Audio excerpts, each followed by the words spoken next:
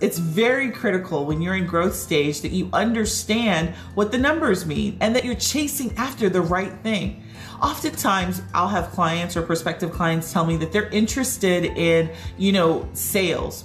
Really, people who are chasing sales are chasing the wrong thing. So if you're focused on sales and not the activities that get you to sales, you're your energy and your efforts are on the wrong thing. So you not only want to know the numbers, you want to make sure that you're following and tracking the key indicators that are going to impact your numbers. So using sales as an example, one thing that you would want to track is that you would want to track how many leads you're getting, right? How many qualified leads are you getting into your business daily, weekly, monthly, quarterly, annually, right? Do you know those numbers? Do you understand what impacts those numbers?